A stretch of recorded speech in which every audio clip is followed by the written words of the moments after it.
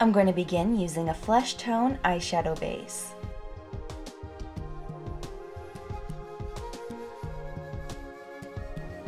Using a fluffy blending brush, I'm taking a light brown and using this as a background color for my crease.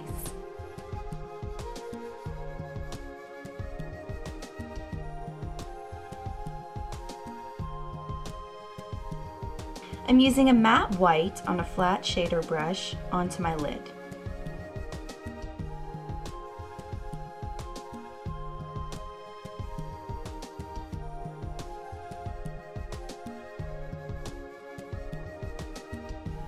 From this Wet n Wild palette, I'm using this green shade as another background color for my crease.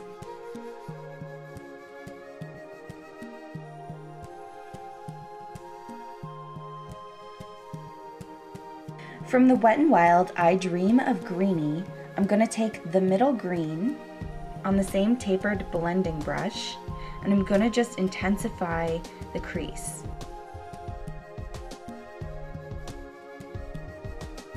To deepen up the outer V, I'm using this sparkly black color.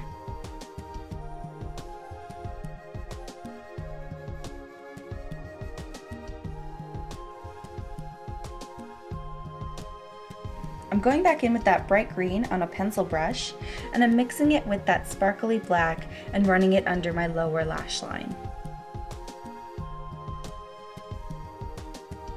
I'm using a Gosh black pencil liner to line my waterline.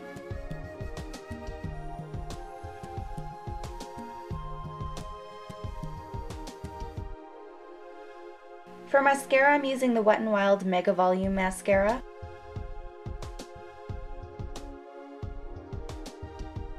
My lashes are from Red Cherry, number 113.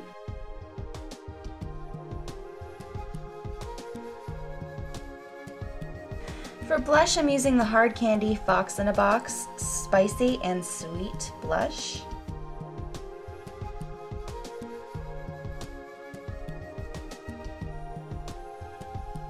And lastly for lips, I'm using a neutral pink creamy lipstick.